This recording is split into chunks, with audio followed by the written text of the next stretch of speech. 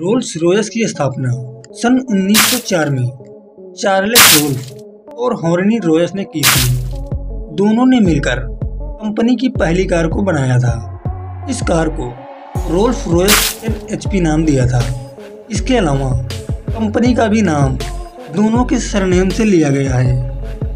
Roles Royce कारों के अलावा जेट इंजन भी बनाते हैं। दुनिया में आपको जितनी भी रोल्स रॉयस फैटम कार दिखती है। वो सभी जर्मनी में ही बनती हैं, क्योंकि इसमें तकरीबन 200 aluminium section 300 L A part को जर्मनी में कारीगरों द्वारा बिल्ड किया जाता है।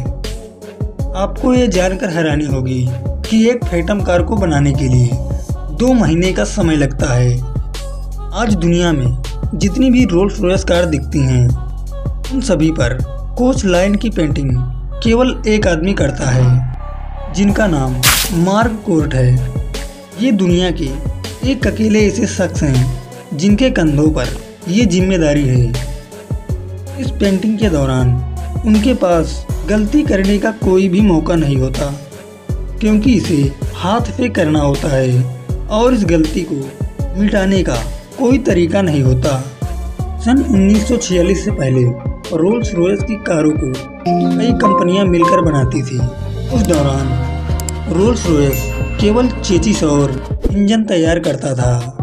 उसे पार्क यार्ड में खड़ी करता था। इसके बाद वर्कर हुपर और लंदन की अन्य कंपनियाँ इस चेचिस पर बॉडी कवर और अन्य पार्ट लगाते थे।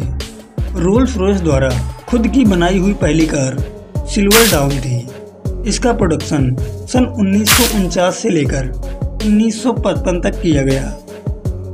सन 1971 में दिग्गज कार कंपनी रोल्स रॉयस दिवालिया घोषित की गई।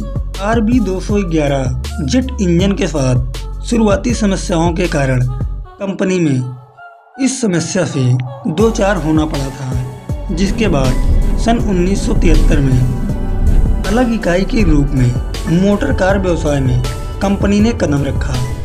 आपको रोल्स रॉयस के बोनट पर जो उड़ते हुए इंसान का लोगो दिखता है, उसे ही स्प्राइट ऑफ़ स्टे कहा जाता है। इसे सन 1911 में कमीशन किया गया था। आज के समय में तो ये लोगो प्रयोग किया जाता है। उन्हें रिमोट के माध्यम से ग्रिल के अंदर किया जाता है। इतना ही नहीं, किसी भी दुर्घटना के समय में ये लोगो अपने आप फ्रंट ग्रिल के अंदर चला जाता है। ऐसा कंपनी लोगों के सम्मान में करती है। सन 2003 में रोल्स रॉयस फैटम को पेश किया गया था। बी द्वारा बनाई गई पहली रोल्स रॉयस कार थी। इनमें चौवालीस हज़ार से ज़्यादा कार्पोनेट्स का प्रयोग किया गया था। शायद यही कारण है कि फैटम का निर्माण जर्मनी में ही किया जाता है, क्योंकि बी कंपनी जर्मनी की है। आपको यह जानकर हैरानी होगी कि रोल्स रॉयस ने जब कारों का निर्माण शुरू किया है, तब से लेकर अब तक, तकरीबन 60 परसेंट कारें आज भी सड़कों पर मौजूद हैं।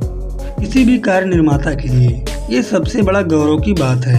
इससे ये साफ़ होता है कि रोल्स रॉयस की कारें कितनी मज़बूत और कितनी शानदार होती हैं। जहाँ दुनिया आधुनिकता के दौर पर सब कुछ तकनीक और रोबोट के हवाले करता है, वहीं रोल्स रॉयस आज भी इंसानों पर भरोसा करती है।